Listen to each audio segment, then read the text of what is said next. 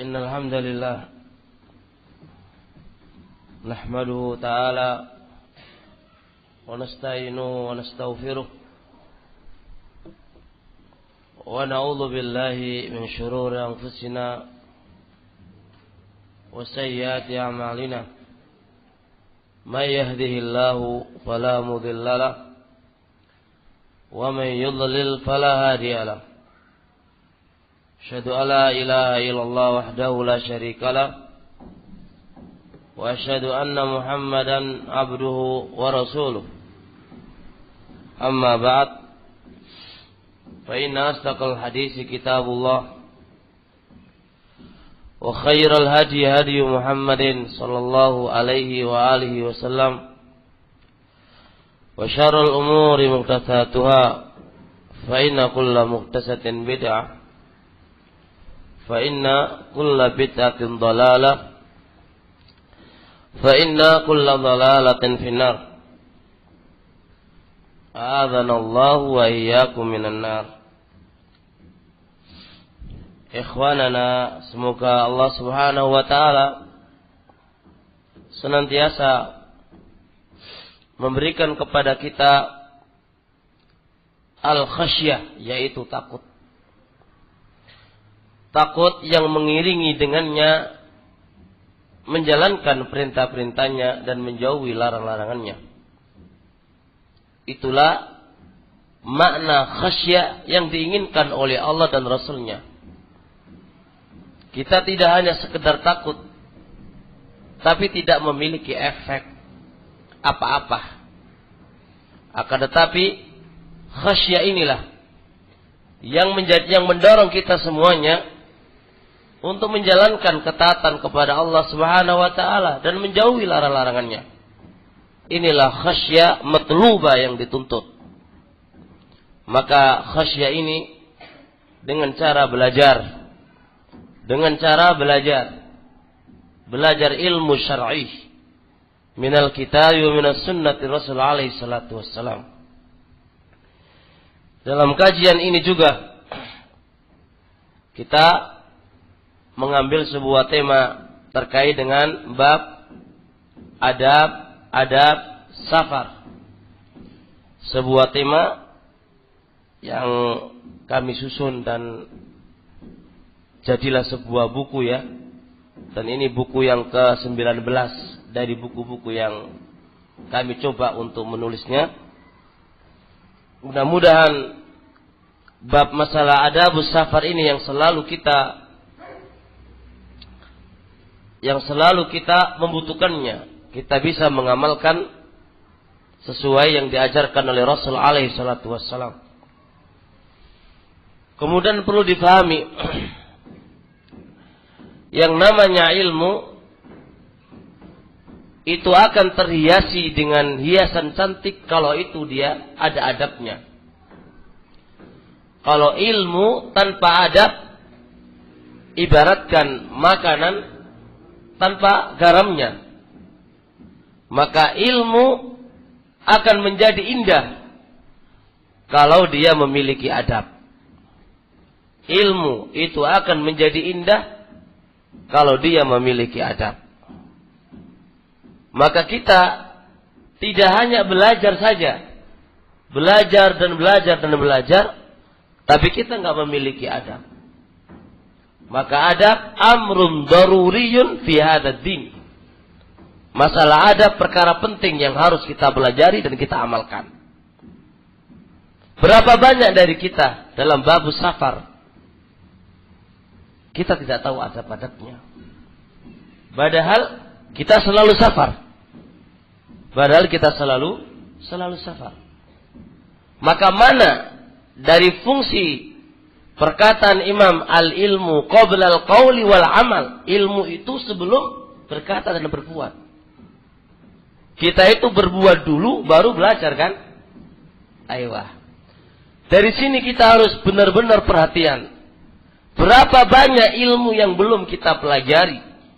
Berapa banyak adab yang belum kita ketahui dan kemudian belum kita amalkan? Maka ini memicu kepada kita semuanya untuk istighal. Menyibukkan diri dengan ilmu. kemudian mengamalkannya, kemudian mengamal mengamalkannya dan meninggalkan apa-apa yang tidak bermanfaat. Wa kama yaqulu Rasul alaihi salatu wassalam, ikhlis ala ma yang fauk. Bersemangatlah untuk mencari apa-apa yang itu bermanfaat bagi kamu. Maka apa-apa yang bermanfaat bagi kamu, ikhlis alaih. Bersemangatlah untuk mencari mencarinya. Nah, Kemudian kita langsung saja karena masalah adab safar ini kurang lebih ada 40 adab. Ya, 40 adab ya.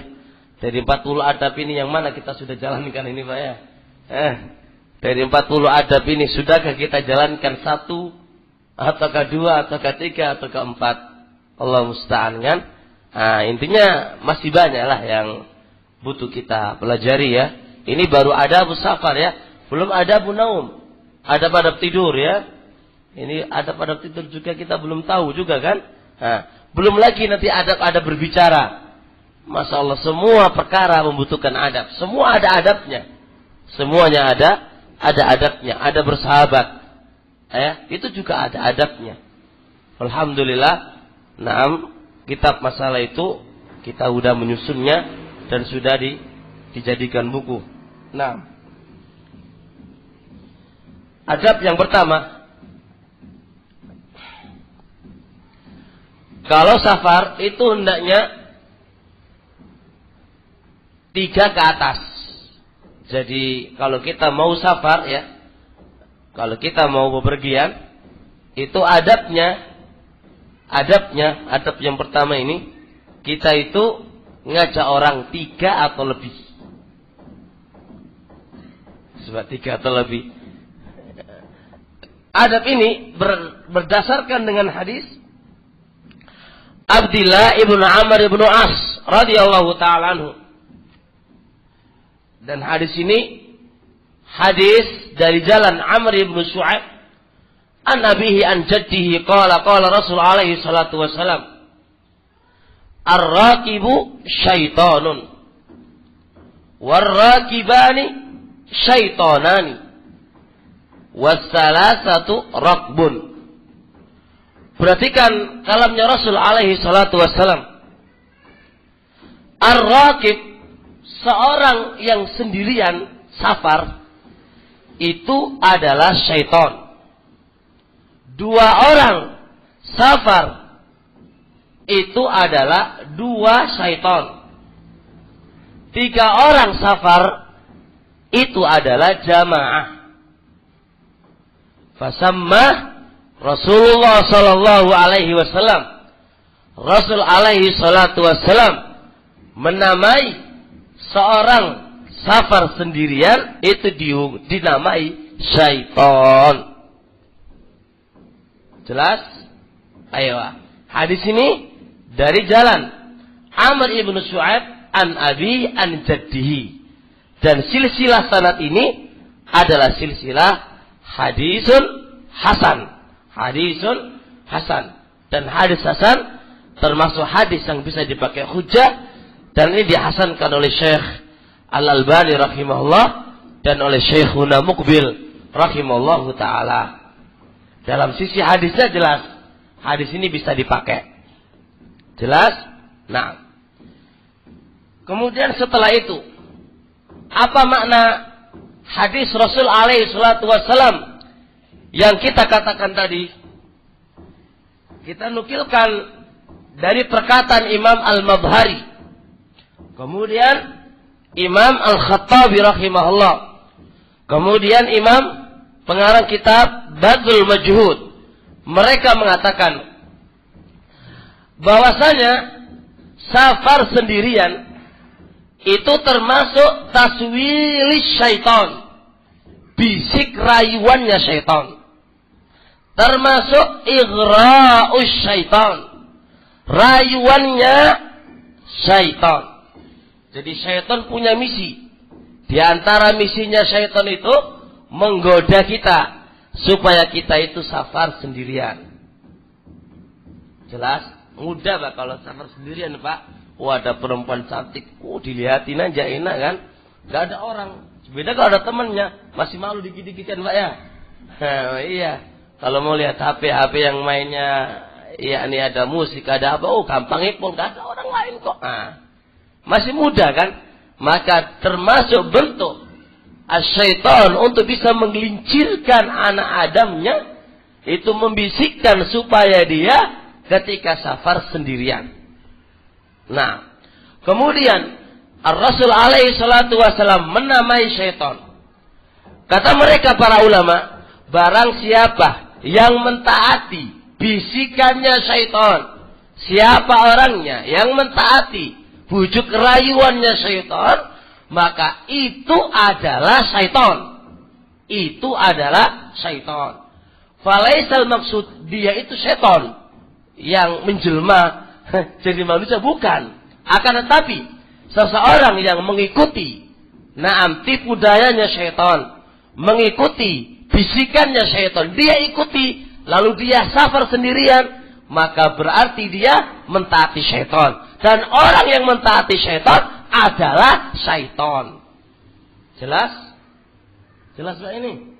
Nah, itu pernyataannya Imam Al-Madhari rahimahullah taala dan pengarang kitab Ma'alimus Sunan Khattabi rahimahullah taala.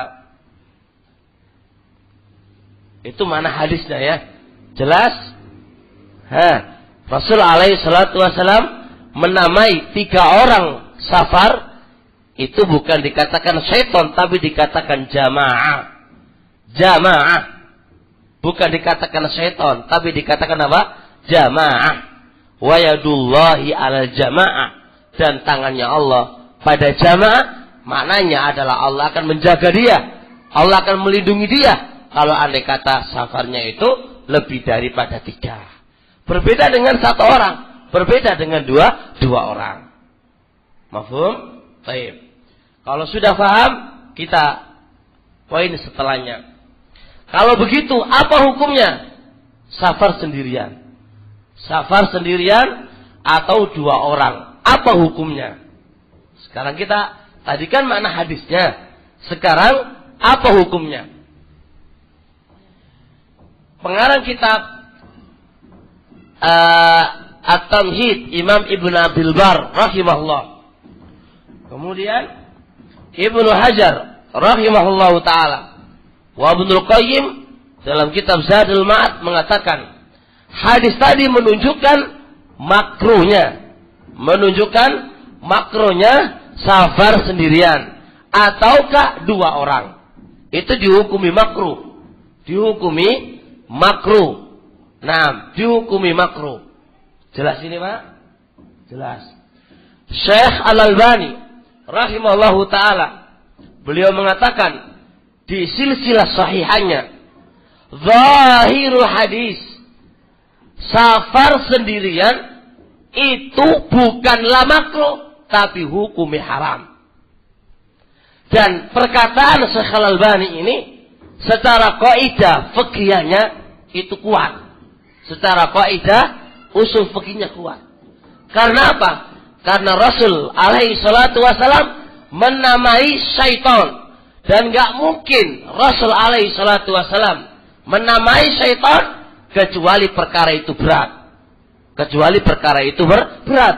Dan kalau perkara itu berat gak mungkin hanya hukumnya makruh. Maka mau gak mau maka itu adalah hukumnya haram. Jelas? Nah, pernyataan Syekh Al-Albani ini juga dikuatkan oleh Imam Ibnu Khuzaimah rahimahullahu taala di kitab sahihnya qal as-safar sendirian itu adalah asin wong sing maksiat sampai dikatakan oleh Imam Ibnu Khuzaimah rahimallahu taala wong sing maksiat kepada Allah Subhanahu wa taala. Uh, berat. Hah? Beratnya pol ini. Nah, kalau lu mau pakai pesawat wong siji piye pak? Hah? Ayo bondo telu pak. Siji mari ngono loro mari ngono telu. Wah iki berat iki. Nah. tapi bagaimanapun beratnya ini hukumnya. Maka dari dua pendapat ini yang mengatakan makruh dan yang mengatakan haram pendapat yang paling kuat yang itu sesuai dengan usul fikihnya adalah pendapat Ibnu Khuzaimah dan dikuatkan oleh Syekh Al-Albani itu adalah hukumnya haram dan haram itu adalah maksiat kepada Allah Subhanahu wa taala. Jelas?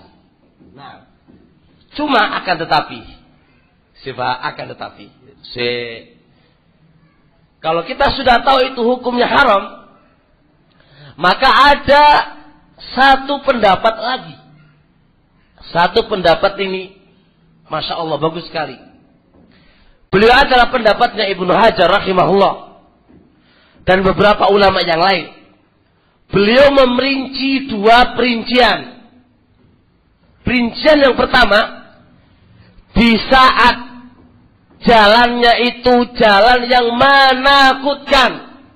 Semisal di Sahrawat di padang pasir yang itu nggak ada orang nggak ada orang di Sahrawat nanti kalau macet bannya meledos gimana? Ya mau nggak mau nggak bisa jalan di situ udah. Dan tarik ghairu mu'abbad. Jalan yang nggak pernah dilalui oleh manusia.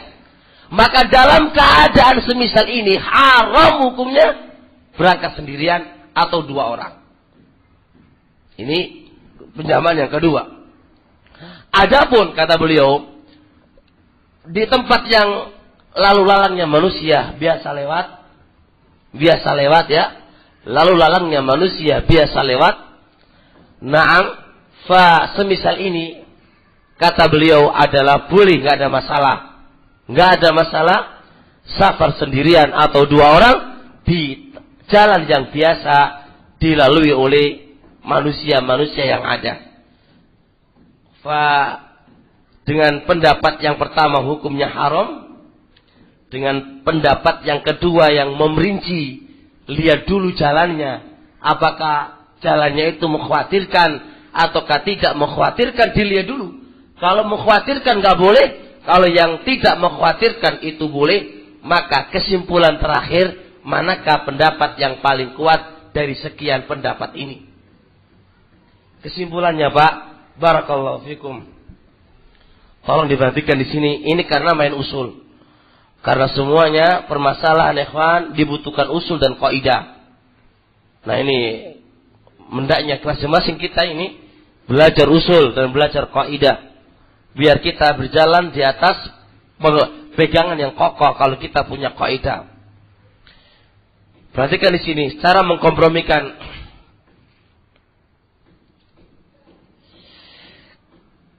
hukum asal safar sendirian itu hukumnya haram. Sesuai dengan zahirnya hadis. Sesuai dengan zahirnya hadis. Gak boleh seseorang itu safar sendirian atau yang lain. Akan tetapi kalau memang itu dibutuhkannya hajat menuntutnya Imma dia nggak punya duit. Atau yang lain. Yang dia sudah Fattakullah mastata'tum. Dia sudah bertakwa kepada Allah semampunya. Tidak ada untuk harus tiga orang atau lebih. Maka ini tidak mengapa. Kenapa dikompromikan semisal ini? Ingat. Perkara haram itu ada dua. Ada haram lidatih dan ada haram lil wasilah. Haram lidati semisal Allah haramkan bangkai. Ini haram lidati. Maka ini nggak boleh dilakukan kecuali darurat. Kecuali darurat. Kedua, ada yang namanya haram lil wasilah. Allah haramkan karena wasilah kepada perkara yang Allah haramkan semisal kayak ikhtilaf. Ya, itu adalah wasilah. Allah tidak mengharamkan zatnya ikhtilaf, tapi Allah mengharamkan ikhtilaf campur aduk laki-laki perempuan wasilah ila zina. Nah, memegang wanita Allah haramkan bukan zatnya, tapi wasilah terjadi perbuatan zina. Maka semisal ini boleh dilakukan kalau memang itu hajat. Rasul alaihi salatu wassalam melarang melihat wanita yang tidak mahramnya. Kullil mu'minina yahullu min absarihim wa yahfadhu furujahum. Larangan melihat wanita yang tidak mahramnya itu adalah mahram lil wasilah. Makanya diperbolehkan ketika kapan? Mau nazar, mau nazar, mau nazar boleh nggak melihat wanita? Nah, apakah kalau kita nggak melihat si calon itu kita mati nggak? Nggak mati kan pak ya? Mati apa enggak? Nggak mati. Beda dengan kita kalau nggak makan itu bangke kita mati gitu loh pak ya. Kalau kita nggak melihat itu si calon, itu kan nggak ada masalah. Tinggal aja kirim orang orang terpercaya. Gimana sih wanita itu ganteng apa elek sih? Kan? Cantik apa elek kan ngono. Oh, sip lah. Nah, selesai perkara sudah. Gak ada satu darurat satu pun harus melihat itu wanita. Walaupun ketika kita nomor dia, dia itu atau nggak diperbolehkan untuk nomor dia, gak ada masalah. Tapi yang demikian itu syariat tetap membolehkannya. Kenapa? Karena melihat wanita yang tidak makrumnya itu bukan haram lidatiha, tapi haram lil wasilah. Itu diperbolehkan ketika itu hajat. Kaidah yang anda sebutkan ini adalah kaidah sebutkan oleh Syekhul Islam Ibnu Taimiyah rahimahullah fi Qawaidul Kubra disebutkan oleh Syekh Sa'di rahimahullah taala Naam fi mukhtasar fi usul fiqh dan banyak ulama yang menyebutkan ini kaidah. Maka kesimpulannya kalau memang kondisi nggak mampu, wah ada haja harus sendirian dan yang lainnya nggak basah, tapi jangan diabaikan. Kalau memang anda mampu, Jangan sendirian atau dua orang. Pakailah tiga. Pakailah tiga. Atau yang lain. Jelas ini insya Allah ya. Fa'ingkila. Apa yang dimaksudkan harus tiga. Kalau kita naik bus kan sudah apa? Hah? Kalau kita udah naik bus kan sudah banyak kan? Pak, yang dinamakan sabar itu Pak, itu adalah awal kamu itu berjalan sama siapa? Bukan di bisnya. Nah, ngono lapi ben bis sarong satu orang satu orang. Oh kita semuanya sama lah, nggak ada larangan lah. Nggak begitu maksudnya. Maksudnya adalah dari kitanya. Kita itu harusnya tiga orang atau lebih atau lebih. Itulah makna hadis. Bukan maksudnya kita satu bus, satu pesawat itu banyak orang. Iya pak, sopo saya ngerti banyak satu orang yang lu rugi bis siapa namanya pesawat Ya, bukan begitu maksudnya, gitu. Nah.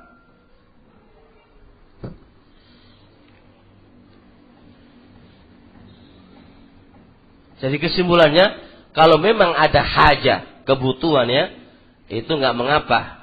Nah, jadi ini namanya haram, ada lidat ya, dan ada haram lil wasilah. Semisal kayak dokter memegang perempuan ketika apa? Ketika berobat.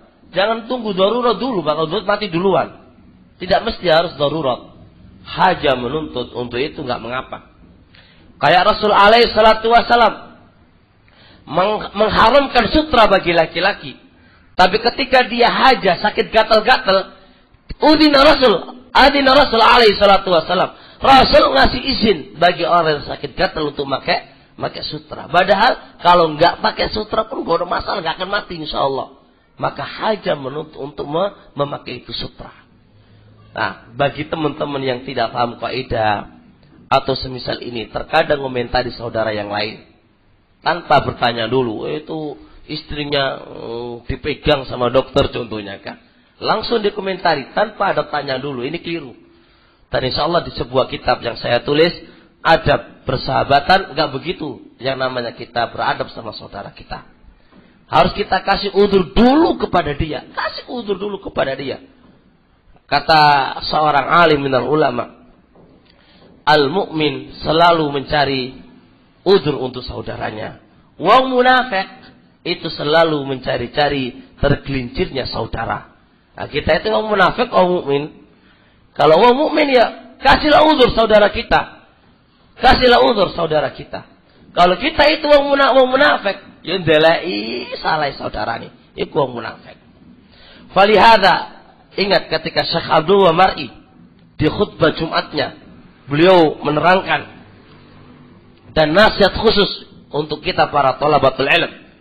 Kalau memang saudara kita itu sudah dikasih udur, nggak ada jalan, pokoknya mentok lah nggak ada udur sudah itu. Sudah nggak bisa, mungkin gini, mungkin gini, mungkin gini, sudah nggak ada. Antum sudah ngasih 70 kali udur, nggak ada jalan keluar. Kata beliau, kalau begitu tentunya hati kamu yang ada penyakitnya. Kenapa kita kok nggak sampai bisa ngasih udur kepada saudara kita? Kenapa? Berarti ada penyakit dalam hati kita. Penyakitnya apa? Pendendam. Pendendam. Susah memaafkan. Itu penyakitnya hati. Itu penyakitnya hati. Dan kalam ini panjang insya Allah di kalam Syekhul Islam Taimiyah sebuah kitab Amradul Qulub wa Shifa'uha penyakit-penyakit hati dan obatnya memengkikis habis masalah penyakit yang semisal ini. Jadi kenapa kita nggak ngasih? Kenapa kita kok sampai nggak bisa ngasih udur kepada saudara kita? Sampai kenapa? Itu pasti ada penyakit dalam diri kita. Sehingga cahaya itu nggak bisa muncul untuk memaafkannya. Yang ada hanya kegelapan. Sehingga kita hanya suudon kepada saudara kita. Nah ini penting ini yang harus diperhatikan ya barakallahu fikum tanya dulu. Kalau ada kata salah, Nasihat ya jangan begini, ini modelnya salah. Bukan diambil satu kesalahannya, kemudian dimasukkan dalam internet atau yang lain. Allah musta'an. Ini cara yang nggak pas. Dan ini ada persaudaraannya kurang. Eh, ada persaudaraannya kurang. Kemudian selanjutnya. Setelah kita tiga orang atau lebih, adab yang kedua, Salah satu dari mereka jadikan amir pemimpin safar. Kalau kita sudah menjalani satu adab ini, yaitu tiga atau lebih, maka hendaknya salah satu dari mereka jadikanlah pemimpin, pemimpin safar. Bukan dibayar pak ya, bukan. Mek dijadikan pemimpin safar. Antum pemimpin safar, ngurusi kita terkait dengan perkara-perkara safar kita. Sholat di mana, makan apa, singgah di mana, atau yang lain. Itu namanya amirus safar. Ini berdasarkan dengan hadis Abi Hurairah wa Abi Sa'id Al-Khudri radhiyallahu taala anhu. Hadis ini muttafaqun alaih. Qala Rasul alaihi salatu wassalam, "Idza kanu idza kharaja salafatun fi safarin falyu'ammiru ahadahum idza kharaja salasatun apabila tiga orang keluar dalam satu safar falyu'ammiru ahadahum maka hendaknya mereka menjadikan salah satu dari mereka itu pemimpin. Nah, maka hendaknya mereka menjadikan salah satu dari mereka pemimpin. Harus ada satu di antara mereka pemimpin. Jelas ini Pak ya? Nah.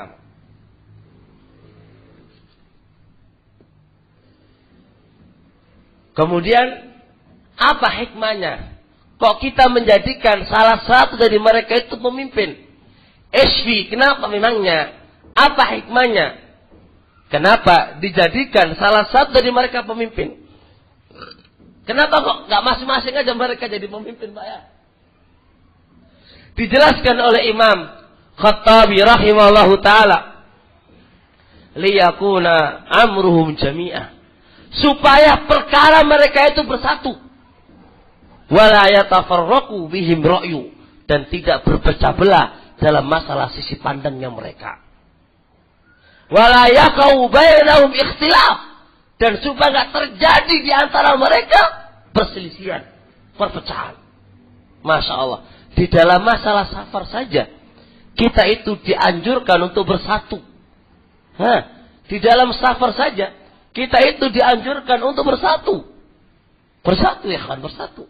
Makanya, hendaknya salah satu di antara mereka menjadi pemimpin. Supaya mereka ini mentaati pemimpinnya dan perkara mereka di atas di atas persatuan di antara mereka. Syekh Ibnu Utsaimin rahimallahu taala beliau berkata di Syarah Riyadhus Shalihin. Qal lau'an kalau andai kata perkara itu diberikan ke masing-masing orang-orang yang safar, lakanal fawdawiyah akan terjadi keributan. Ya enggak, Pak? Yang satu mampir di mana? Yang satu beli, yang satu makan. Yang satu minta pecel. Yang satu minta apa? Sate. Yang satu minta apa? Gulai. Oh, ruwet semuanya, Pak. Tukaran ini. Tengkar gara-gara delek makan saja. Yang satu sholat di mana? Yang satu bilang, eh, kita sholat di, di pom. Yang satu sholat di mana? Ruwet urusannya. Makanya dijadikan pemimpin itu. Dialah yang menentukan segalanya. Udah, kita makan pecel. Pecel sudah. Kita makan apa? Makan sate. Yuk makan sate wis. Nah, begitu urusannya. Kalau andai kata perkara itu diberikan ke masing-masing mereka. Oh, ya Pak. ya itu ribut jadinya. Ribut jadinya. Masa awan dewek yang gede-gede ini lho Pak. Tukaran gara-gara makanan sawangane cak. Eh, masalah ini minta ini minta ini ya, nggak malu lah, nggak pantas lah kan. Bab kayak gini aja Islam mengajarkan kita itu hendaknya ala ra'yil wahid satu pendapat. Dan ini juga satu pelajaran sebagaimana buku yang saya tulis di Adabul Ukhwah satu pelajaran dalam bab yang kayak gini, kita harus mementingkan persatuan antara mereka daripada keinginan pribadi. Betapa berapa sih keinginan pribadi, Pak? Daripada perkara persatuan antara antar kita, antara sunnah wal jamaah. Maka buanglah perkara-perkara pribadi dalam rangka mentahkik usul min usuli ahli sunnah as-sa'yu fil istima' berusaha untuk bersatu berusaha untuk bersatu. Ingat yaqul Abdullah bin Mas'ud radhiyallahu taala al khilaf syarrun terjadinya perbedaan perselisihan adalah satu kejelekan. Maka perhatikan di sini. Ah, anak enggak anak pokoknya sate, anak lagi pingin sate. Yang satu ya Robi, mbok yang ngalau. Mbok yang ngawasi lah. Ntar kalau udah sampai nanti makan sate saya ya, sak karepe ngono ora apa ya. Ini bab ketika dalam posisi persatuan antara mereka biar tidak terjadi faudawiyah. Apalagi gaya Indonesia, Pak. Kalau gaya Indonesia saya tergores ya. Waras suwe, Pak. Waras suwe iku Indonesia. Wong Jawa, Pak ya. Kalau tergores saiki ngene susah sekali untuk kembali semula kan, Pak ya. Walaupun koyo akrab, tapi goresan tadi tetap membekas. Allah musta'an. Ini bukan apa-apa Pak, karena penyakit dalam diri kita saja sebenarnya. Penyakit dalam diri kita saja sebenarnya. Nah, kemudian selanjutnya, kemudian apa hukum menjadikan pemimpin di safar ini? Apa hukumnya menjadikan pemimpin ketika safar ini? Dua pendapat di antara mereka. Dua pendapat ini disebutkan oleh Imam Al-Munawi rahimahullahu taala fi Faidul Qadir. Ada yang mengatakan sunnah dan ada yang mengatakan wajib. Dari dua pendapat ini mana pendapat yang paling kuat? Adalah yang mengatakan wajib karena perintah Nabi alaihi salatu wasalam. amiru hendaknya mereka menjadikan pemimpin. Dan asal perintah Nabi, asal perintahnya Nabi dan Allah Subhanahu wa taala hukumnya wajib. Itu asal perintah. Maka siapa yang mengatakan perintahnya Nabi atau perintahnya Allah berfaedah sunnah harus mendatangkan dalil untuk memaling dari perintah ini. Kalau nggak mendatangkan dalil nggak bisa. Karena hukum asal perintah itu hukumnya wajib. Allah mengatakan, "Falyahdharil ladzina yukhalifuna amri ang tusibahum fitnah aw yusibahum adzabun alim." Orang-orang yang menyelisih perintah Nabi, hati-hati. Kita disuruh hati-hati terhadap perintah Nabi. Maka ini menunjukkan asal perintah itu adalah hukumnya wajib. Begitu. Kemudian seterusnya. Dalam bab ketaatan ini apakah ketaatan yang bersifat safar saja berkaitan dengan safar Ataukah masalah-masalah yang lain juga harus taat sama pemimpin ini? Al-jawab, kama yaqulu Syekh Ibnu Utsaimin rahimallahu taala wajibnya wajibnya mentaati pemimpin ini itu hanya fi masalihi safar hanya berkaitan dengan maslaha maslaha safar tok. Ya Pak. Tok Pak. Nggak ada yang lain kecuali hanya ini. Nggak ada yang lain kecuali hanya ini. Fi masalihi safar. Berkaitan dengan maslaha maslaha safar tok. Jangan dihubungi yang lain. Ya nggak boleh dihukum yang lain. Hanya berkaitan dengan ini saja. Maka kayak Wasolil safar berhenti di mana, capek, e, makan di mana, sholat di mana, pergi jam berapa, berangkat jam berapa. terkait dengan ini. Terkait dengan dengan ini. Terkait dengan ini. Berangkat jam berapa? Ketua mengatakan jam 7. Ya udah bilang jam 7 berangkat. Nah, berangkat. Nah, kemudian apakah hukumnya wajib mentaati pemimpin dalam bab yang demikian ini? Yaqulu Imam uh, Al-Mawardi uh, Al-Mawardi rahimahullahu taala fil hawi yaqulu biwujubi hukumi wajib mentaati. Jadi kalau pemimpin ngomong jam 9 awan derek ndelewet dosa cah. Dosa iki. Ha, hukumi wajib mentaati iki. Wajib hukumi. Dosa awan derek iki. Berdosa kita di saat kita apalagi ngomentari di belakang lagi sama pemimpinnya. Ah, pemimpin ngowos ini ini salah ini ini dikomentar di belakang lagi. Lo dosa kan? Berdosa ini. Nah Wong bangkang saja ya itu dihukumi dosa karena itu pemimpinnya. Gimana kalau ah di ini dan itu. Itu jelas gak benar lah ya. Itu berkaitan dengan adab yang kedua. Nah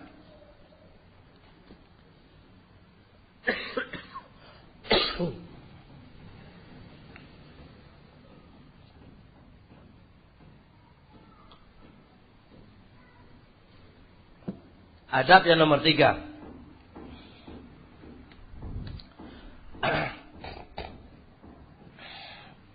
Ayakuna safaruhum yaumal khamis. Diusahakan, disyariatkan safar itu di hari Kamis. Diusahakan safar itu hari Kamis Iki adab, adab. Termasuk adab-adab yang ada. Nah, itu diusahakan kalau safar itu hari Kamis. Berdasarkan hadis Ka'ab ibnu Malik radhiyallahu taala riwayat Bukhari anna Rasul alaihi salatu wassalam kharaja yaumal khamis adalah Nabi alaihi salatu wassalam keluar pada hari Kamis fi ghazwati Tabuk ketika perang Tabuk. Wa kana yuhibbu dan adalah Rasul itu senangi pol ayakhruja yaumal khamis kalau dia keluar pada hari Kamis fa usul fikihnya dari kata yuhibbu Imam Ibnu Qayyim rahimallahu taala fil Bada'i Fawaid. Min alfazil istihbab. Lafaz yang menunjukkan sunnah. Di antaranya adalah Nabi senang. Maka Nabi senang itu adalah berfaedah sunnah. Maka di sini Rasul alaihi salatu wasalam yuhib senang. Ayakhruja keluar safarnya itu adalah yaumul khamis jelas Pak ya Hah, jelas nah maka ingat usul fikihnya tadi apa? Hah? Kata yuhib, yuhibbu. Walihada kama yaqulu Ummu Salamah radhiyallahu taala anha. Kanat ahabbu thiyabi ila Rasulillah al-qamis. Baju yang amat dicintai oleh Rasul alaihi salatu wasalam adalah jubah. Yaqul Ibnu Qayyim Syaukani Mubarakfuri hadal hadis ya dulu ala mana istihbab memakai jubah berdasarkan hadis Ummu Salamah dan inilah baju yang disukai oleh Rasul alaihi salatu wasalam. Syahiduna kata ahab. Sesuatu yang dicintai. Al-Rasul alaihi salatu wasalam. Lahu mangsilah. Memiliki kedudukan yaitu berfaedah. Sunnah. Berfaedah sunnah. Maka safar pada hari Kamis. Itu hukumnya sunnah. Walihada yaqulu Imam Nawawi rahimallahu taala fil majmu'. Jadi kita pingin Pak ya, kita berusaha ya dalam setiap masalah kita punya dalil dan kita punya ulamanya. Jadi kita itu siapa? Kita itu wong biasa, Pak.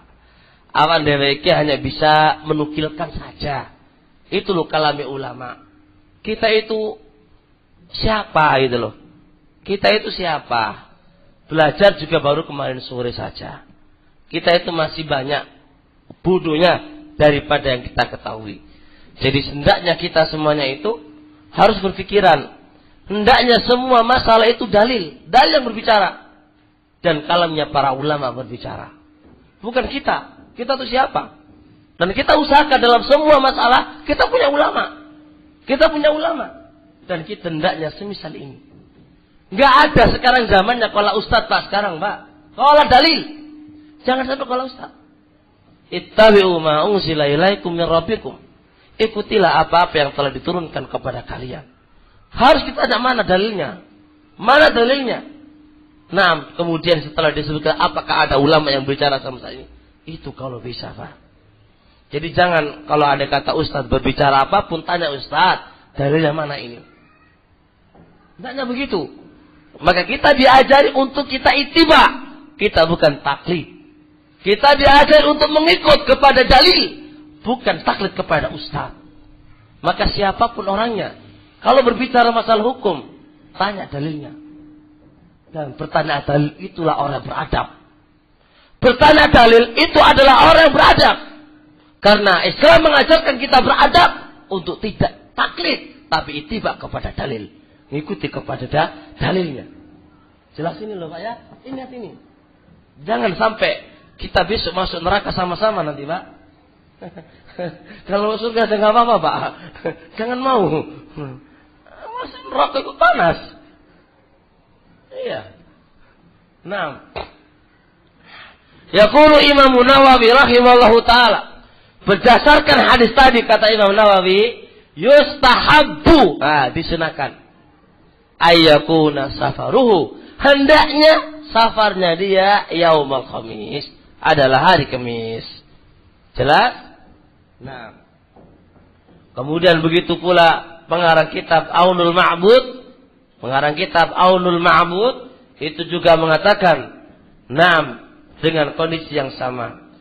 Cuma Pak Barakallahu fikum.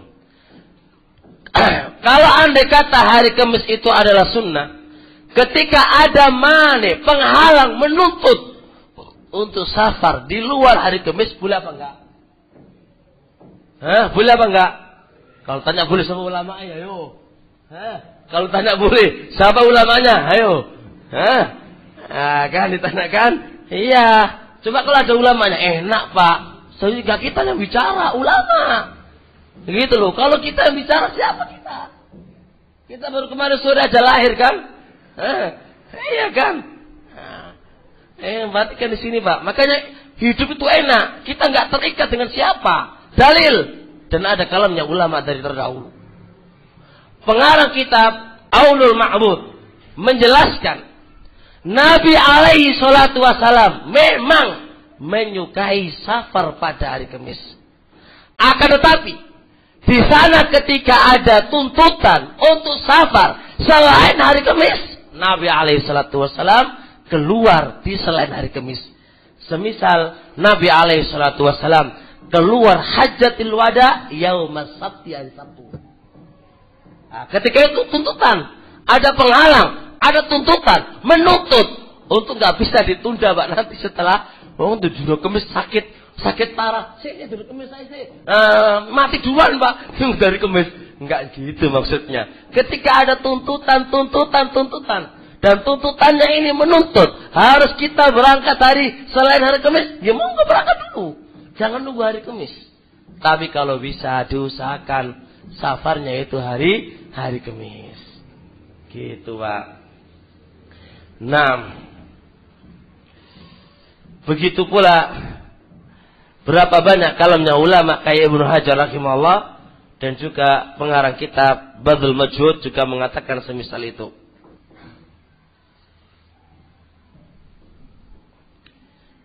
Adab tadi ada udah selesai ada ada berapa tadi? Nah, ada yang pertama tadi apa coba? Ayo, adab kedua, Pak. Ayo, adab ketiga, Bapak. Jenengan lupa, Pak. Ah, antum antum antum. Hendaknya hari hari Kamis. Enggak apa-apa tanya Pak ya, enggak apa-apa kan? Hah? Enggak apa-apa Pak ditanya kan. Selalu Pak biar santai. Nah, adab yang keempat. Adab yang keempat dianjurkan, disunahkan safar itu berangkat pagi-pagi. Nah, pagi-pagi pak, ojo siang, ojo sore. Kalau pagi, pagi sekali. Dan insya Allah akan saya sebutkan di akhir pembahasan, itu juga ada syariat kalau safar itu malam. Jadi imma pagi wa imma malam. Adapun malam, insya Allah belakangan kita bahas dulu. Adab yang keempat ini, kalau safar, hendaknya mulai safarnya itu diusahakan pagi hari. Jelas? Ayo. Di sana ada sebuah hadis yang diriwayatkan oleh sahabat namanya Sakhr ibnu Wada'ah. Rasul alaihi salatu wassalam mendoakan untuk umat ini. Qala Allahumma barik li ummati fi bukuriha. Ya Allah, berkailah untuk umatku di waktu paginya. Rasul alaihi salatu wassalam di pagi hari itu waktu yang penuh berkah. Nabi mendoakan untuk umatnya keberkahan. Dan hadis ini bimajmu'i turuk dengan banyaknya jalan terangkat Hasan Lighairi dihasankan oleh Syekh Al-Albani rahmatullah alaih dengan banyak jalannya.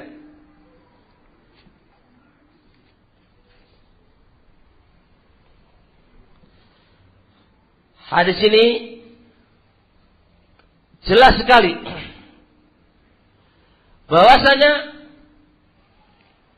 pagi hari itu adalah waktu yang penuh berkah.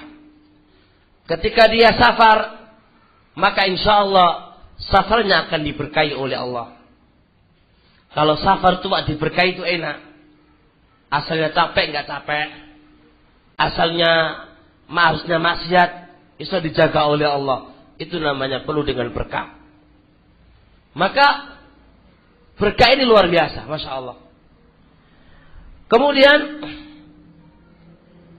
dijelaskan oleh pengarang kitab Aunul Ma'bud, Badul Majud mengatakan, idza fa'alu fi'lan min at-tijarati was-safari wa ghairiha wa kadha min al-ibadat bukratan fatabaraka fi. Apabila mereka hendak melakukan perdagangan atau perjalanan atau perkara-perkara ibadah di waktu paginya maka Allah Subhanahu wa taala akan memberkahi di waktu itu pula. Masya Allah. Di waktu itu pula diberkahi oleh Allah Subhanahu wa taala. Wa yaqulu Syekh Ibnu Utsaimin rahimallahu taala fa idza istaqbalahu al-insan min awwalihi sara fi dzalika barakah. Apabila suatu perbuatan diawali di dalam melakukannya di awal paginya, maka waktu itulah penuh dengan berkah. Berbeda kalau mengawalinya jam 9, 10, jam 11, itu baru ngawali, itu kurang berkah. Tapi kalau dia awali satu perbuatan tadi, dari awalnya, dari awal paginya setelah subuh, sampai andai kata malam, itu penuh dengan berkah. Itu penuh dengan berkah akan dijaga oleh Allah Subhanahu wa taala. Akan tetap khairiyah kebaikan untuknya. Nah, kemudian kata Syekh Ibnu walil asaf, duhai sedihnya. Betah manusia-manusia ini tidur setelah subuh dan tidaklah bangun kecuali jam 7 pagi atau jam 8 pagi. Dia tidak mendapatkan waktu dengan waktu dengan berkah. Masya Allah. Dan untuk adab tidur, anak tulis sebuah buku yang anak kasih judul Al-I'lam bi adabin naum. Pemberitahuan terkait dengan adabun naum. Tidur dibagi menjadi tiga. Ada tidur kailulah, ada tidur pagi, dan ada tidur setelah asar. Yang nyunah tidur itu adalah kailulah ketika mau zuhur. Adapun tidur waktu pagi itu adalah makruh. Nah, kita niki tuhuru isu-isu iku makruh. Wa kama yaqulu ibnu Khawat yaqulu mereka dia berkata an-naumu fi awalin nahar khurqun tidur setelah subuh adalah kebodohan. Nah, dihukumi bodoh lho, Pak. Hah, piye iki? Lho, awak ndewek lho, Pak. Tidur bendino lho iki. Setiap hari tidur, gak ngerti adabe to? Hah. Ini lo perkara sing cilik orang badi lo Pak. Ah, perkara sing gede mana? Iki lo sing cilik-cilik kita pelajari dulu. Ya, masalah adab iki bendino iki. Setiap hari iki. Setiap hari kita pasti berkecimpung dengan adab. Iya, Masya Allah. Tapi Allah musta'an. Mari kita belajar lah Pak. Bab masalah adab yang kayak gini ini. Jelas ini kan? Ha. Bahkan intinya tidur di waktu pagi adalah adalah adalah apa? Makruh. Ha, itu secara hukum tak sebutkan kalian Ibnu Qayyim secara kedokteran. Oh, tambah ajur, Pak. Terus setelah subuh itu. Ha, satu aja udah cukup ini. Ini loh waktu berkah. Kenapa kok dikatakan bodoh tidur setelah subuh? Sebab waktu berkah itu kita harus memperbanyak ibadah supaya diberkahi. Eh malah turu. Gimana nggak dikatakan bodoh?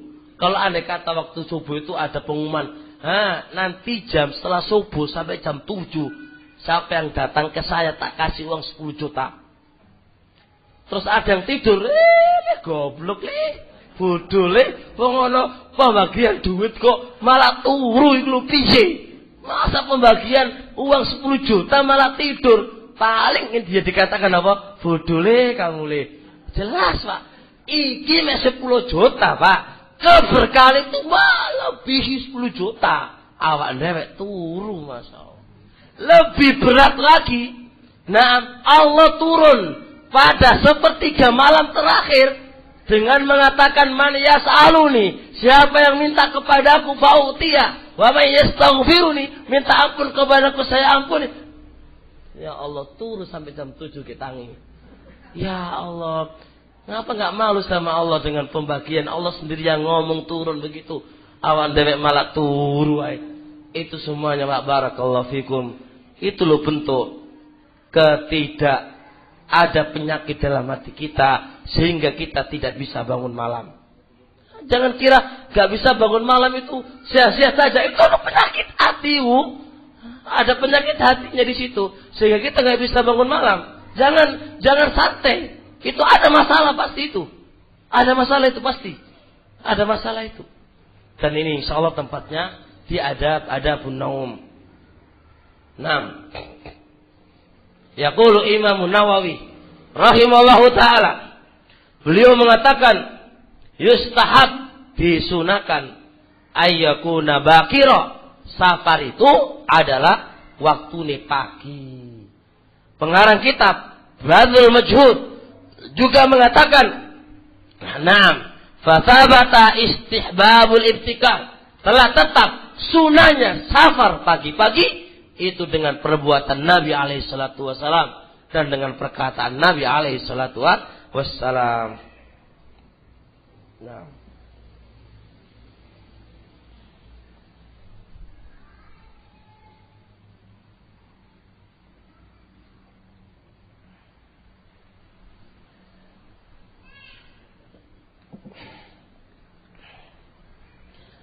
Terusnya adab yang kelima.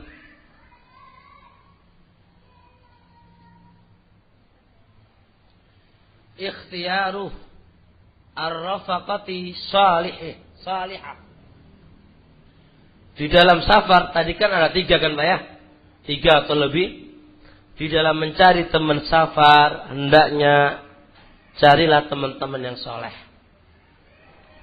Jangan mencari teman-teman yang gak soleh. Ya ingat ini. Cari teman-teman yang soleh. Nah bukan mencari teman-teman yang tidak soleh. Ini berdasarkan dengan hadis Abi Musa al-Ashari radhiyallahu taala. Hadis yang ma'ruf ya. Masalu jalisi salih wa jalisi asu. Permisalan teman yang apa? Yang baik dan teman yang tidak baik. Semisal apa? Kahamilil miski. Semisal membawa minyak wangi wa nafihil khiri dan pandai besi. Dan hadis ini sering terulang-ulang kan dan sering disebutkan oleh ikhwah-ikhwah dan para ustaz-ustaz terkait dengan ini. Yang terpenting di sini Pak Ana nggak lanjutkan karena sudah ma'ruf karena adabnya masih panjang kan. Alhamdulillah Ana juga sebutkan ini adab. Terkait dengan mencari teman yang baik Anda sebutkan di kitab saya juga ada bul ukhwa nikmatul ukhwa wa adabuha.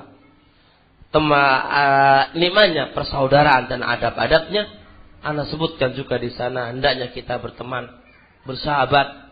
Ketika safar atau ketika tidak safar carilah teman-teman yang baik. Carilah teman-teman yang yang baik. Dan ini kalau kita mau perinci pak ya teman-teman yang baik itu kayak apa itu panjang sekali, panjang sekali dan Anda sebutkan di kitab itu insya Allah di waktu yang lain insya Allah. Intinya kalau kita mencari teman ketika safar jangan sembarang teman. Carilah teman yang baik. Baik dalam sisi agamanya dan baik dalam sisi dia bisa membantu di dalam perjalanan kamu membantu dalam berjalan kamu. Karena teman, ada teman baik agamanya, tapi dia suka berpangku tangan. Dan ada teman yang baik, tapi dia nggak berpangku tangan. Itu butuh dicari. Kan ini masih ada, yang namanya baik itu masih global, Mbak. Masih global. Baik yang dalam sisi apa? Ada yang baik, cuma itu aja di mobil. Mobil menengwai ini mobil. Iya kan, Pak? Banyak. Mobil macet, dia lagi santai mobil orang pemilik mobilnya kerja nganu ban dia itu santai aja di ya Robi ini yo api sih api pak tapi nggak gini akhlaknya kan ya. Bagus sih bagus. Cuma nggak gini. Ini kan butuh dicari juga kan? Ayo ini insya Allah di kitab enam indahnya persaudaraan dan adab-adab yang kita akan sebutkan di sana nanti kemudian selanjutnya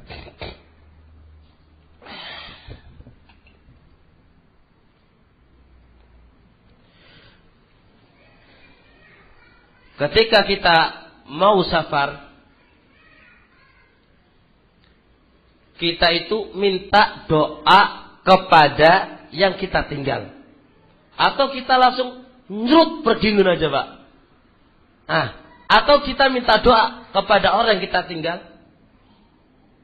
Nah, adab yang kita pelajari ini yaitu hendaknya kita meminta doa kepadanya dan kita mendoakan kepadanya. Doa ma'ruf apa? Astaudiukumullah dinaka wa amanataka wa khawatimah a'malika. Apa enggak ini, Pak?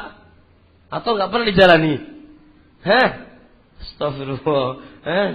Ini ini. Ini adab.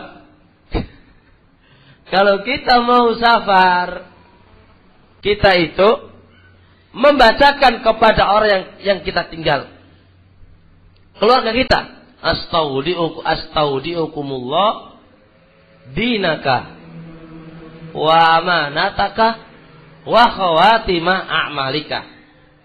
Lalu lalu apa lalu? Dia nanti mengatakan astaudiukumullah la tabi'u la tabi'a la tabi'u wadai'ukum. Ini dibaca bagi orang yang mau safar dan bagi yang ditinggal mengatakan apa. Ini berdasarkan dengan hadis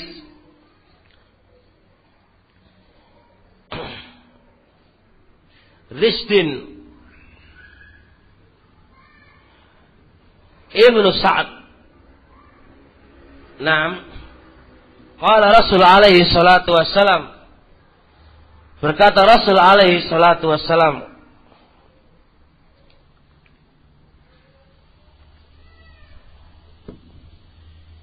Man arada ayyusafira Maka barang siapa yang hendak mau safar. Kita mau safar.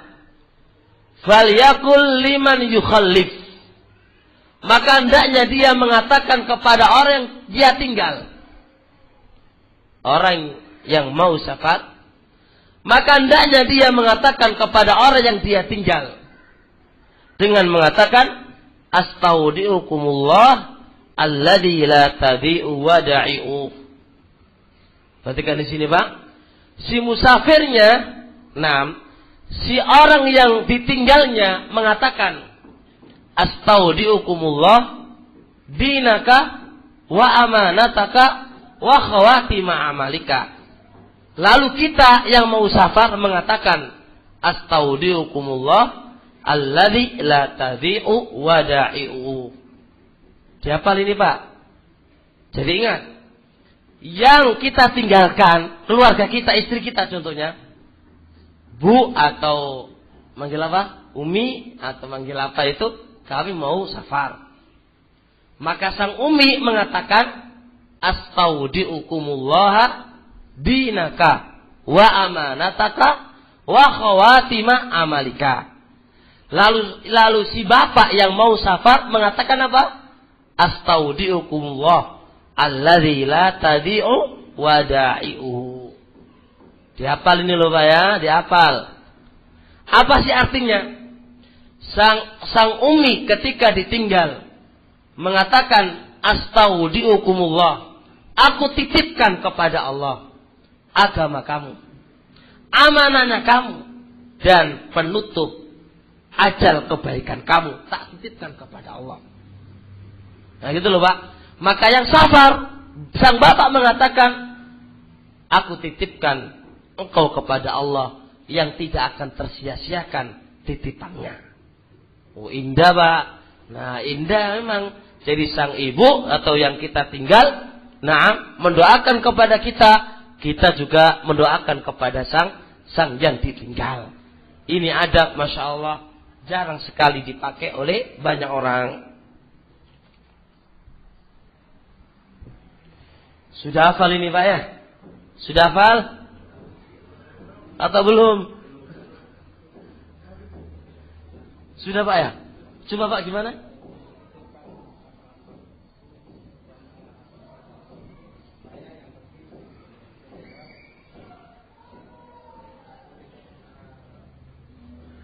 Jadi nanti jenengan mau coba bahasa Indonesia ngono Pak doa Pak. Oh gitu Pak ya. Oh. Nggih nggih nggih enggak apa-apa Pak. Barakallahu fikum. Barakallahu fikum.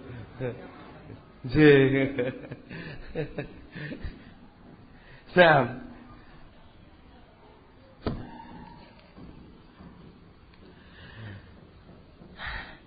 Berkata Imam Nawawi rahimahullahu taala, Ana menyebutkan satu lupa, ini masih banyak doa-doa yang lain terkait dengan ini. Ana sebutkan cuma satu contoh aja. Yaqulu Imam Nawawi rahimahullah, yustahab disunahkan ay ahla wa shiranahu wa asliqa'ahu. Disunahkan dia membaca taudi' aku titipkan tadi kepada istrinya, tetangganya dan saudara-saudaranya. Mau doain. Dia datang ke istrinya, anak mau safar lo ya. Ketika dia bilang anak mau safar, ha, dia mendoakan kita. Dia menjawab doa-doa tadi. Begitu pula Imam Al-Bani rahimahullahu taala mengatakan fi masyru'iyatu taudi'. Di situ ada syariat mentaudi', menitipkan amanah kepada kepadanya. Baik yang suami menitipkan amanah ke istri, istri juga menitipkan amanah kepada sang sang suami. Kemudian seterusnya, gimana cara mentaudi'? Apa kami ngomong ini tak wahai? Dinaka wa amanataka wa khawatima kanyepen ngono atau saliman. Ah, saliman gini. Atau bagaimana? Ah, diajarkan oleh Rasulullah SAW cara mentaudi itu saliman. Saliman berjabat tangan dengan satu tangan, jangan dua tangan. Karena musafaha bersaliman itu dengan satu tangan, bukan dengan dua tangan. Ini termasuk cara mentaudi cara berdoa, cara menitipkan agama, amanah, dan seterusnya kepada sang suami dan suami menjawab taudinya itu dengan berjabat tangan dengan satu tangan. Itu yang harus difahami Pak Barakallahu fikum. Sebagaimana di sana ada hadis Ibnu Umar radhiyallahu taala anhu. Ibnu Umar radhiyallahu taala anhu juga Nah,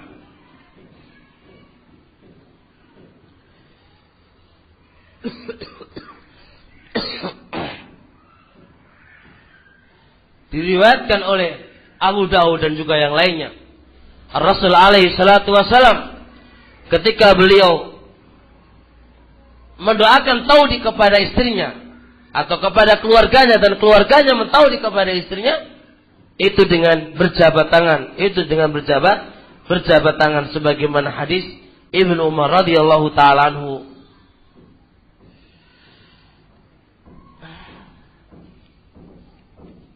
Dan tolong ya diperhatikan ini berjabat tangan itu dengan satu tangan sebagaimana hadis tadi sebagaimana hadis tadi Naam dan ini dianjurkan ketika mentaudi, ketika mentaudi. Dihafal Pak ya, insya Allah Pak ya, ini, ini. Dihafal dan direnungkan maknanya, direnungkan maknanya. Kemudian seterusnya, adab yang ke-8. Keberapa sekarang Pak? Adab yang ke-7.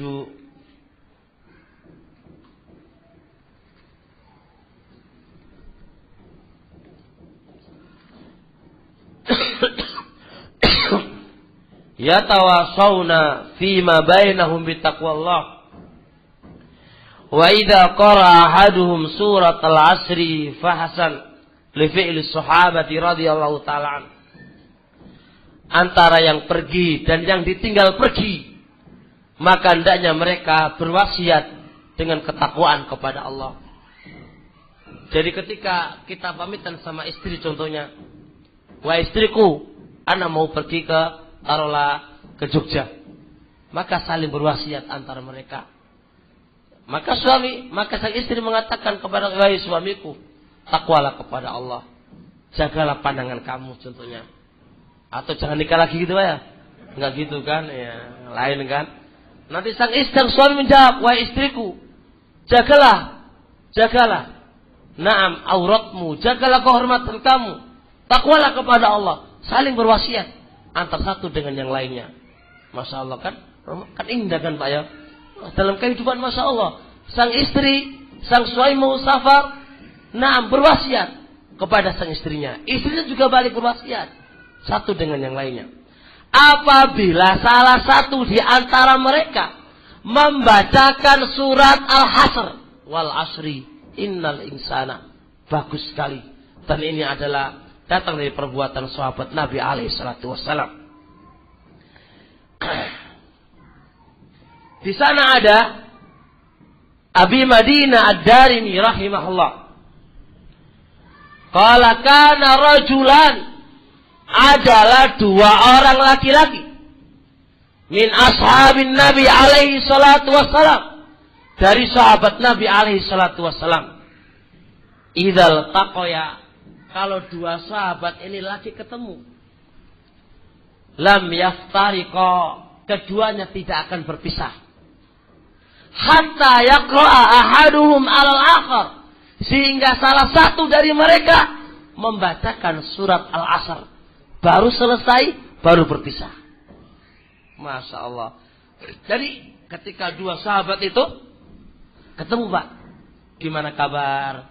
Kayak hal khair gitu kan? Selesai mereka kedua orang tadi tidak akan berpisah. Satu dari keduanya sehingga salah satu darinya membacakan surat al-asr surat al-asr setelah dibacakan wal asr kemudian summa yusallimu ba'dha baru mengucapkan salam lalu pergi.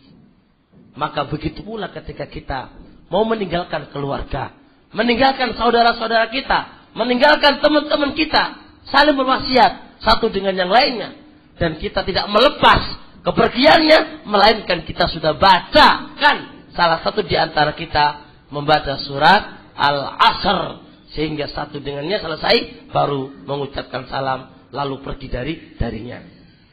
Masya Allah. Nggak nggak ketemu ini ini pak. Oh, mereka sahabat ketemu tuh saliman bermuka. Namanya sama saudara kan pak ya? Saudara. Jadi jadi ketemu nggak mau berpisah. Beda dengan kita ketemu sama saudara pingin pisah aja. Lah itulah dewek pak. Itu ono penyakit pak. Itu ono penyakit. Ya jadi jadi sama saudara sama saudara nggak begitu caranya kan gitu. Nah nggak begitu caranya.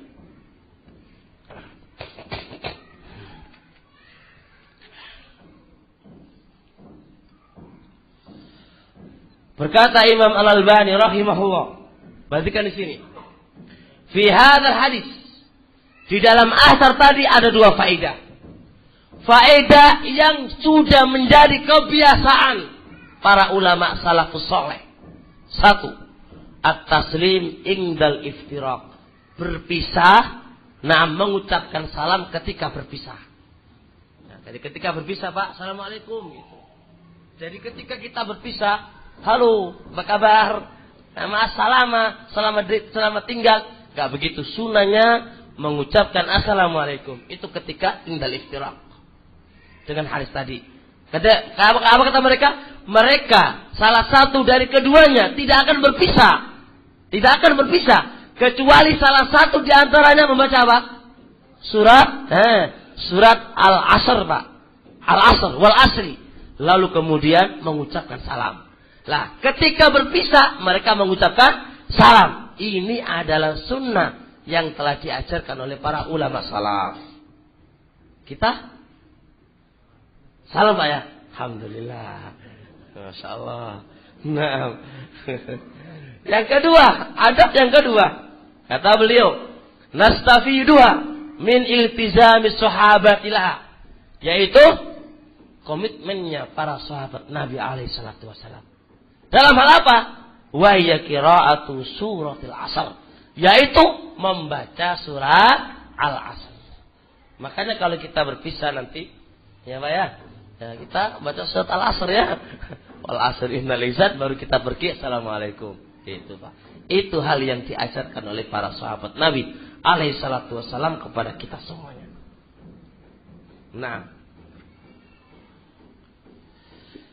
seterusnya Adab yang kedelapan. Kalau kita mau safar, mintalah ridho kedua orang tua terlebih dahulu. Datang ke orang tuanya, Pak, Bu, kita orang ini mau pergi. Minta ridhonya kedua orang tua. Kalau kedua orang tua tidak ngasih ridho, ah, hukumnya lain. Hukumnya lain. Kalau ngasih ridho, Alhamdulillah. Falhasil, Hendaknya adab ini kalau kita mau safar ke mana-mana. Yang itu dikategorikan safar. Maka hendaknya minta ridho kedua orang tuanya. Berdasarkan hadis Abdullah ibn Amr ibn As radhiyallahu taala anhu. Qala aqbala rajulun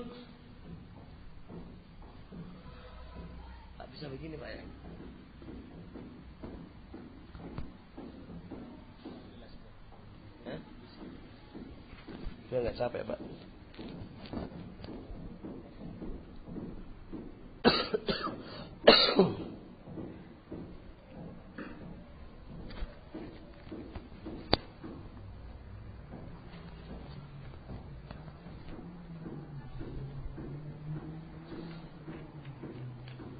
Di sana ada hadis Abdullah bin Amr bin As radhiyallahu taala anhu. Riwayat Bukhari Muslim. Aqbala rajulun ila Rasulillah sallallahu alaihi wasallam. Ada seorang laki-laki menghadap kepada Rasul alaihi salatu wasallam.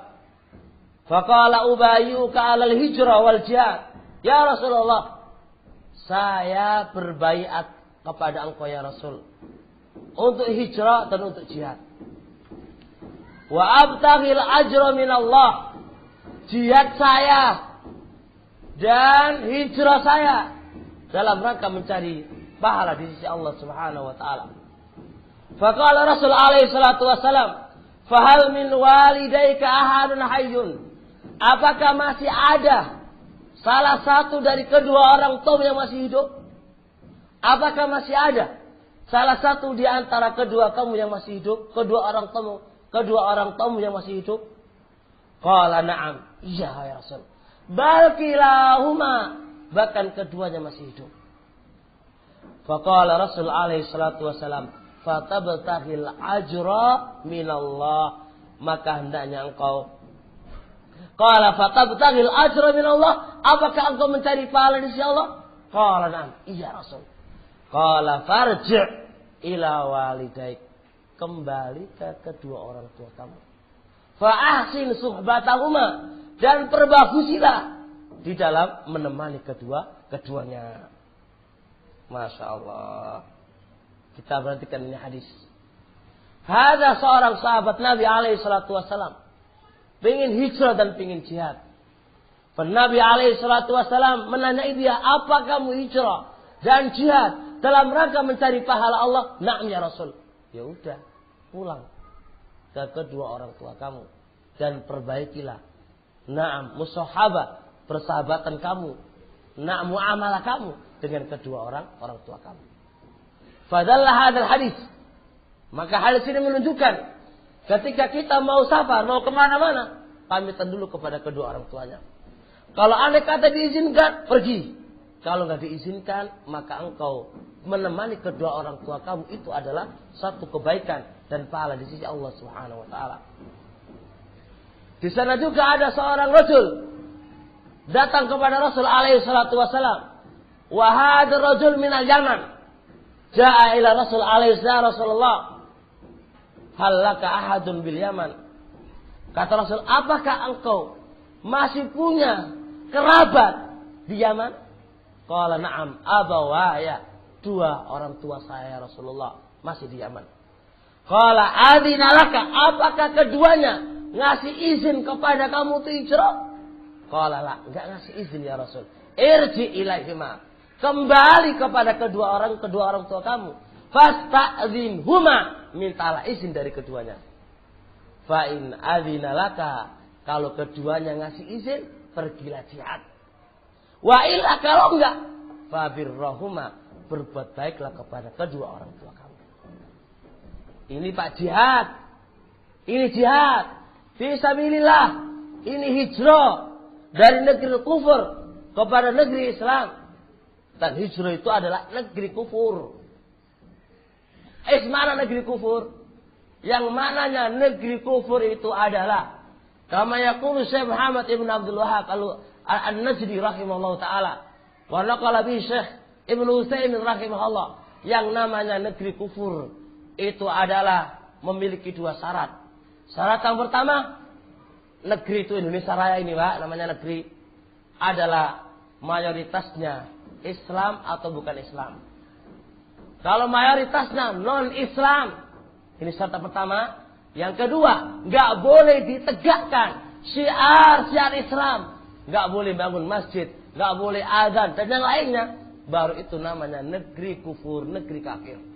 Tapi kalau andai kata di negeri kita ini banyak muslimun, banyak muslimun, nah dan negeri kita membolehkan beribadah kepada Allah Subhanahu wa taala, maka negeri kita adalah negeri-negeri Islam. Jangan disanggah salah paham. Ini mazhab ahli sunnah wal jamaah. Kama naqala huwa. Kama naqala beliaunya. Jadi, barakallahu fikum. Jangan melihat poin itu apa? Jangan melihat poin itu adalah bentuk ada ini dan ada itu. Jangan. Siapa yang mengatakan kalau ada kata satu negeri yang itu ini kan contoh kayak kayak kayak ini uh, tempat kita ini pak Bali ini. Salah khusus ini Bali ini. Ini sebenarnya nggak nggak ada, ada hukumnya apa apa di sini ini. Karena hukum kita hukum Indonesia raya ini. Hukum balda balda negara negara. Negara kita negara negara negara Islam. Saya bilang negara-negara kafir. Negara Islam. Walaupun walaupun dalam beberapa hal itu bukan bukan bukan bukan Islam yang ditetapkan tapi tetap dihukumi negara-negara Islam Apalagi secara khusus tempat ini. Ya jelas ini Islam. Tempat-tempat Islam. Walaupun satunya taruhlah mayoritas non Islam itu banyak. Tapi kan masih diperbolehkan menegakkan agamanya Allah Subhanahu wa taala di sini. Maka itu bukan bukan namanya bukan ke Islam. Jadi jangan salah paham. Barakallahu fikum tetap negeri Islam. Fal di sini, dzalika sahabatu radhiyallahu taala Beliau minta izin untuk pergi hijrah. Jihad fisabilillah. Maka Rasul menanyainya, apakah kedua orang tahu orang tua kamu ngasih izin kamu? Salah. Enggak Nabi. Ya udah pulang. Mintalah izin kepada keduanya. Kalau anda kata kalian diizini pergi jihad. Kalau enggak ya udah. Berbuat baik sajalah kepada kedua orang tua kamu. Maka ini mimba bin aula kalau kita safar dakwah kayak atau safar bermain-main kayak atau yang lain itu jelas mimba bin aula. Kita harus minta ridho dari kedua orang tua orang tua kita. Jelas ini? Jelas. Kemudian setelah itu apa hukum izin ini kepada kedua orang tua? Hukum izin kepada kedua orang tua sebagaimana dijelaskan oleh para ulama Jihad ada dua. Ada jihad ain dan ada jihad kifayah. Ada jihad yang itu bersifat fardu ain. Maka semisal ini tidak ada kewajiban izin. Karena ini ketetapan yang Allah wajibkan kepadanya. Yang kedua, yang namanya jihad yang tidak wajib ain. Semisal ini wajib izin kepada kedua orang orang tuanya. Semisal juga belajar ilmu, ilmu agama. Kalau belajar ilmu agama itu fardu ain bagi dia, maka wajib dia pergi. Walaupun gak diizini kedua orang tuanya. Yang kedua, andai kata dia itu sekedar mencari ilmu, ilmu, tahu ilmu sunnah. Tidak sampai derajat fardu ain. Maka wajib dia. Nah, meminta ridhonya kedua orang tuanya. Sampai dia ridho, baru dia berangkat untuk mencari mencari ilmu. Apalagi kalau safar hanya safar doliran saja Pak ya. Apalagi safar untuk jihad atau apa? Untuk jalan-jalan atau yang lain. Maka hendaknya dia meminta ridhonya dulu kepada kedua orang orang tuanya.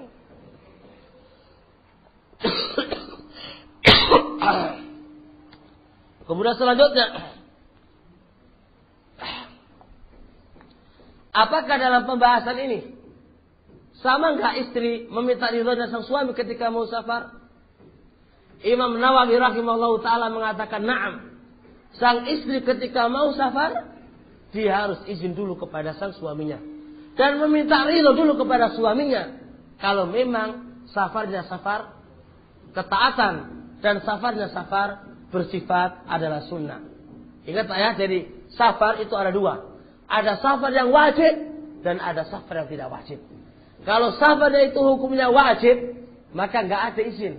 Gak harus izin sama orang tua, wala sama istri, wala sama suami. Tapi kalau izin lebih baik. Tapi kalau ada gak ada izin gak apa-apa.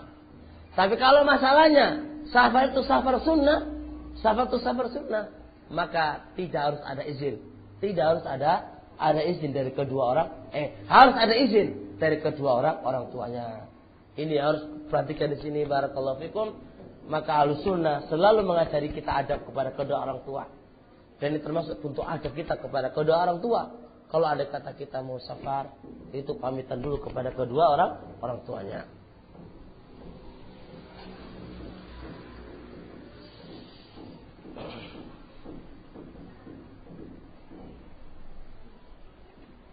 Sampai jam berapa tadi?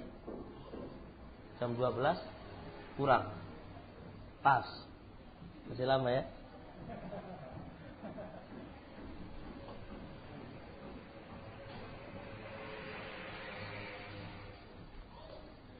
Terusnya adab yang ke sembilan. Ada yang ngeros sembilan sekarang? Sembilan. Salatu rak'ataini fil bait qabla khuruji tamna'anika makhrajas su' Sebelum kita safar, hendaknya salat dua rakaat dulu di rumahnya. Sebelum kita keluar safar, maka hendaknya dia salat dua rakaat dulu di rumahnya. Dua rakaat dulu di rumahnya. Ya, ini berdasarkan dengan hadis Abi Hurairah radhiyallahu taala anhu. Dan hadis ini dihasankan oleh Syekh Al-Albani rahmatullah alaih. Qala Rasul alaihi salatu wasalam, "Idza kharajta min manzilika" Apabila engkau keluar dari rumah kamu, fasalli raka'ataini salatlah dua rakaat. Jadi kalau kita mau safar, salat dulu dua rakaat. Fa itamna'anika makhrajas sur. Dua rakaat itu akan mencegah kamu, akan mencegah kamu dari perbuatan-perbuatan yang jelek. Dua rakaat kamu, dua rakaat yang kamu salat tadi bisa membantu engkau untuk keluar ke tempat-tempat yang tidak diajarkan oleh syariat Islam. Masya Allah. Jadi kalau asalnya mau belok ke tempat maksiat, nggak jadi belok pak ya, nggak jadi belok ya. Jadi tamna'anika. Kedua sholat tadi mencegah kamu. Makhrajusu ke tempat-tempat yang tidak baik, ke tempat yang tidak baik. Wa idza dakhalta ila mangsilika apabila engkau masuk ke rumah kamu dari safar apabila engkau keluar salat dua rakaat masuk dari safar ke rumah kamu fasalli rakaatani salatlah dua rakaat. Tamna'anika madkhalas su Dua rakaat kamu itu mencegah tempat masuknya kejelekan yang ada pada kamu. Islam mengajarkan masuk dua rakaat, keluar dua rakaat. Dua rakaat ini amat membantu kepada kita. Kalau kita keluar sebelumnya sholat dua rakaat akan menjaga kamu ke tempat-tempat yang tidak baik. Akan menjaga kamu dari perbuatan maksiat kepada Allah Subhanahu wa taala. Begitu pula kalau kita lagi masuk rumah, sholatlah dua rakaat, maka itu juga akan mencegah engkau tempat masuknya kejelekan. Ikhwanana yang namanya dari safar itu biasanya emosi. Dan melihat wanita mungkin lebih cantik dari yang ada di rumah. Bisa tentukan Pak ya? Loh iya kan? Maka dengan engkau masuk, sholat dua rakaat, itu membendung semuanya itu. Membendung semuanya itu. Nah, jelas ini, jelas. Kalau kita di luar, Masya Allah, lihat keindahan alam kan. Baik itu wanita telanjang atau yang lain ini. Yang terkadang ini, terkadang itu lebih asli daripada di rumahnya. Ya kan? Terkadang lebih asli daripada di rumahnya. Maka dengan dia sebelum, ketika dia masuk rumahnya, dan melakukan dua rakaat itu, maka bisa mencegah itu semuanya. Maka ini penting sekali, Masya Allah. Penting sekali. Kata Imam Nawawi rahimallahu taala yustahabu disunahkan ila aradal khuruj min manzili apabila dia ingin keluar dari rumahnya ayu salliya ini salat dua rakaat. Imam Nawawi yaqulu bi istihbabi hukumnya sunnah berdasarkan hadis yang Anda sebutkan sebutkan tadi. Nah, fama hikmah amanun min kulli syai. Dia akan aman dari setiap kejelekan. Ketika dia keluar, salat dua rakaat, aman dari setiap kejelekan. Ketika dia masuk rumahnya, dua rakaat, juga aman dari setiap kejelekan. Masya Allah, benar-benar Islam mengajari semuanya untuk supaya kita menjaga diri kita dari perkara-perkara yang tidak baik. Kemudian seterusnya, ada salat selanjutnya, adab yang ke-10. Di saat kita itu safar, Nah, ayyakhudha ma huwa mahtaju ilaihi fi safari. Hendaknya dia membawa apa-apa yang dia butuhkan ketika dia safar. Bawa bekal. Jadi jangan ketika safar nggak go popo pak ya. Ucuk-ucuk lunga ngono wae. Enggak oleh itu, enggak enggak enggak enggak ada adabnya. Termasuk adabnya kalau kita safar, hendaknya kita mengambil apa-apa yang kita butuhkan ketika safar, ketika safar. Baik berupa min nuqud, uang, wa malabis, baju, wa mikos adhafir, potong kuku. Masya Allah. Wa makinati halat, alat untuk mencukur. Yang demikian itu Pak, dibutuhkan di bawah. Gak hanya duit saja ini Pak ya. Ulama menjelaskan tidak hanya nukut, pakaian. Apalagi Pak, uh, uh, pemotong apa? Potong kuku. Itu Masya Allah. Hal yang dia butuhkan ketika dia safar, dia bawa. Masya Allah ya. Nah.